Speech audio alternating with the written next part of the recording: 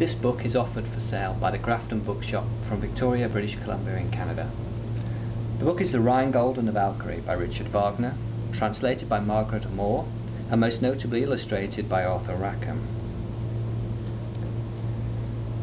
Published by William Heinemann Limited from London in 1910, this book is signed by Rackham himself.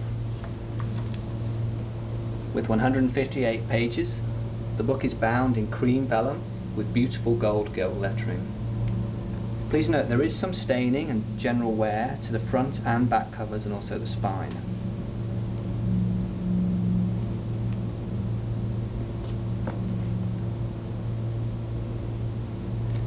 This book is a limited edition from a, a print run of 1,150 copies and this book is number 839.